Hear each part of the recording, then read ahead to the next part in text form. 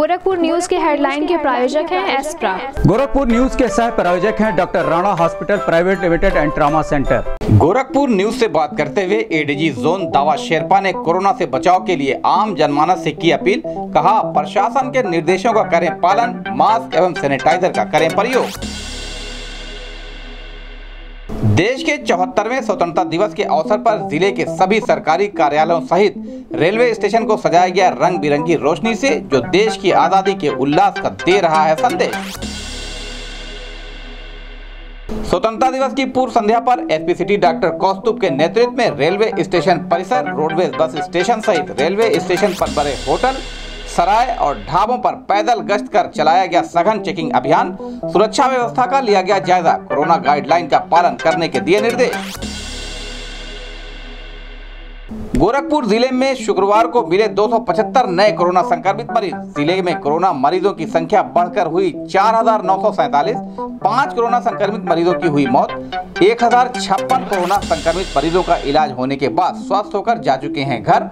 कुल active case हुए दो हज़ार तीन सौ चौवन। सीएमओ डॉक्टर श्रीकांत तिवारी ने दी जानकारी।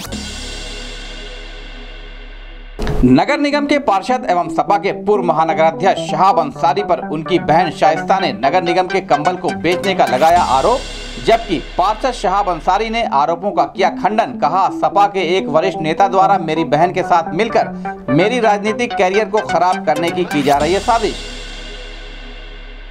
देश की आज़ादी के चौहत्तरवें स्वतंत्रता दिवस के वर्षगांठ के अवसर पर एडीजी जोन दावा शेरपा, मंडलायुक्त जयंत नार्लिकर जिलाधिकारी K Pandian SSP doctor Sunil Gupta SP city doctor Kaustubh city magistrate Abhinav Ranjan Srivastava SP south Vipul Kumar Srivastava SP north Arvind Kumar Pandey SP crime Ashok Kumar Verma ने जनपद वासियों को दी हार्दिक शुभकामनाएँ। कहा, corona protocol के तहत अपने घरों में ही मनाए स्वतंत्रता दिवस का उल्लास। गोरखपुर विश्वविद्यालय के प्रशासनिक भवन में कुलपति प्रोफेसर विजय सिंह ने नए मीडिया कार्यालय का फीता काट कर किया लोकार्पण। गुरु गोरक्षनाथ के चित्र के समक्ष दीप प्रज्वलित और पुष्प अर्पित कर दी श्रद्धांजलि। ऑपरेशन गरल अभियान के तहत प्रभारी निरीक्षक थाना झंगा के नेतृत्व में पुलिस और आबकारी विभाग की संयुक्त टीम द्वारा कच्ची शराब कारोबारियों के अड्डे पर की गई छापेमारी। भारी मात्रा में लहन किया गया नष्ट, कारोबारियों में मचा हड़कंप। एसपी क्राइम अशोक कुमार वर्मा की अध्यक्षता में गोला सर्किल क्षेत्र के शेरनी दस्ते का चल रहा तीन दिवसीय प्रशिक्षण हुआ संपन्न। प्रशिक्षुओं को दी चौहत्तरवे स्वतंत्रता दिवस की हार्दिक बधाई और शुभकामनाएँ। All brothers of Gorakhpur group के बच्चों द्वारा गाया गया देशभक्ति का मनमोहक गीत सोशल मीडिया पर हो रहा वायरल। लोगों ने सराहा।